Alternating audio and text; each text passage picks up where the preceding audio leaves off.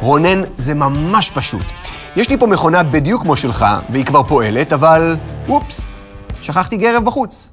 ממש לא דרמה. כדי לצרף את הגרב לחברות שלה במכונה, פשוט לוחצים על כפתור ההתחלה עד שהמכונה נעצרת. עכשיו, זאת דלת האדווש המיוחדת. לוחצים על החלק העליון שלה כדי לבטל את הנעילה, ומכניסים כל מה ששכחנו בחוץ. אחרי זה, סוגרים את הדלת, לוחצים על החלק העליון שלה כדי לנעול אותה, ולוחצים שוב על כפתור ההתחלה כדי שהמכונה תמשיך לפעול. אה, ועוד טיפ קטן.